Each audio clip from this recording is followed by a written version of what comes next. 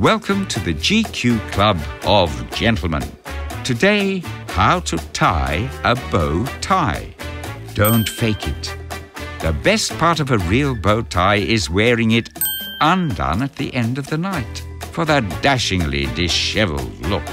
Right, let's get tying. Concentrate, man, this may take a few goes to get right. Remember, practice makes perfect.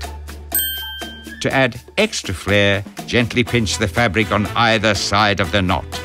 Terrifically tied, sir. Now go forth and be gentlemanly.